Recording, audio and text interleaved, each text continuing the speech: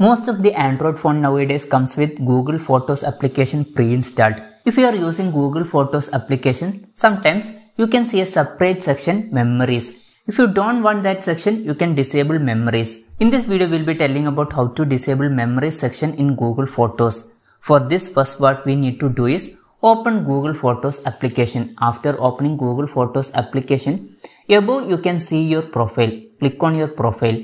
When you are clicking on profile, you can see one option photo settings. Click on photo settings. In photo settings, you can see one option memories. Click on memories. In memories, down here you can see featured memories. Click on featured memories.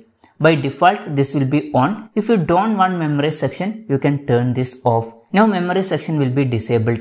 And one more thing is that down here you can see one more option creations. Normally in Google Photos, Google Photos will automatically create some animation, collage and color pop-ups for you. If you don't want that things, you can turn that off. And one more thing is that in memory section when new photo is coming, notification will be shown in your phone. If you just want to disable that notification and you don't want to turn off that memory section, you can do that also. For that, you can turn on this memories and after that go back and down here you can see notification option below featured memories. Click on notifications. In notification by default this will be turned on. If you don't want notification you can turn this off. So this way you can easily disable memory section in Google Photos.